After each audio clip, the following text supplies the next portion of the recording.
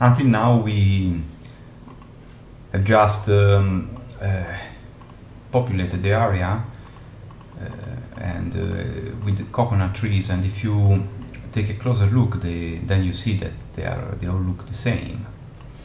This is because we gave no uh, random coefficients to the props. But we can do that in Infinito.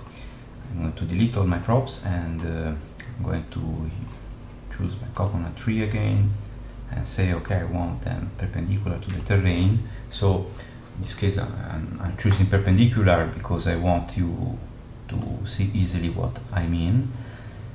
And uh, I'm going to, uh, to tell Infinito I want to randomize the angle of my props at, at the angles at uh, which my props are oriented by in a range uh, between minus and plus 20 and I want them to be scaled randomly of uh, 30% uh, minus or plus 30%. So now if I'm going to uh, paint my coconut trees you notice that uh, not only they have different sizes but also that the well, these were meant to be perpendicular all perpendicular but since I asked Infinito to use a minus or plus 20 degrees of randomization in fact the axis uh, that they are aligned to are uh, are not uh, all the same. And uh, just to be more clear if I remove any randomization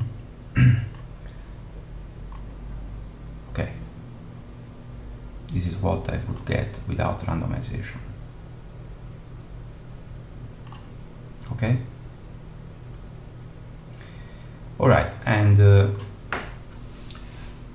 there are many other features that uh, are here in the populate section uh, one of them is uh, the edit mode. Edit mode is very important because uh, once you have uh, populated your area, you may want to move one of these props in another position.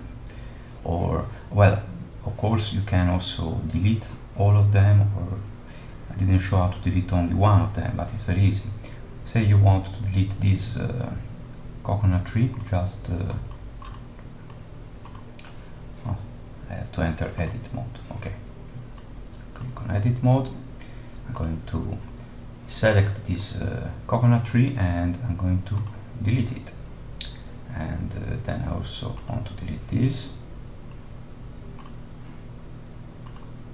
And also this. And also this one.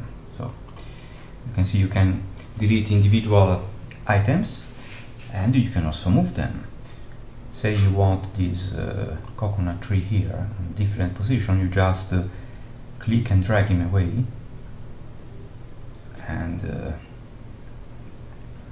I can just move it in another part of my terrain. And as you can see Infinito is going to deploy it oops, exactly at uh, the proper height again. See? So also in this case you don't have to manually adjust uh, the tree position, uh, Infinito will uh, do it for you. And if I tell that I want this tree following the terrain normal, I can just use this slider and now my tree will also be aligned to the terrain slope and as you can see as I said at also at the proper height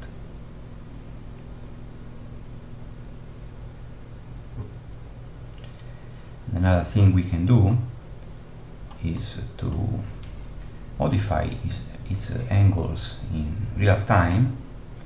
We can for example reorient it on the x axis or the y or the z axis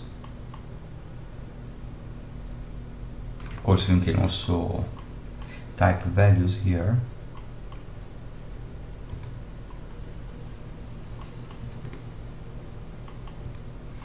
And we can also scale it up or down. So as you can see in the populate section you have all the instruments you need to populate your area with several different uh, uh, props that you have in your library. And uh, you can uh, rearrange these props wherever you uh, you like. And uh, well I think you have all the tools you need to easily create your Daz scene There are also other features in the populate section. Some are still under construction, so I won't demonstrate those right now. Uh, but uh, if you follow my Infinito blog, you uh, yeah you will uh, have a sneak preview very soon. And uh, well, now I'm going just to delete all these props, and I will show you that actually all these uh, all this work that you do on the terrain uh, will be available in Daz scene because as I said this is a plugin so right now I am using it uh, within Daz Studio. And well let's say I want just this simple scene.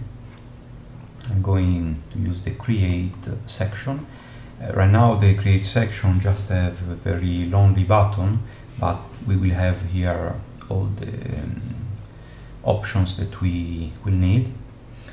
And uh, well, when I click uh, the Daz button, right now you don't see anything, only the, the, the, the um, wait cursor. And uh, Infinito is uh, now recreating the terrain texture and uh, after that it will um, uh, um, create also the terrain mesh gain and populate my Daz scene uh, so that all I created in Infinito will be exactly replicated in Daz Studio. And I'm going to uh, yeah pause this movie and get back when the scene is uh, is ready and when uh, the Daz scene uh, creation is completed, we can just see that our uh, uh what we had in uh, Infinito will be perfectly replicated in Daz Studio. And as you can see we have a, a terrain group which will contain our terrain mesh and all the 35, uh, sorry, 34 uh, coconut trees that we have um, deployed on the terrain in this example. Alright, so this was the populate section. I hope you enjoyed it.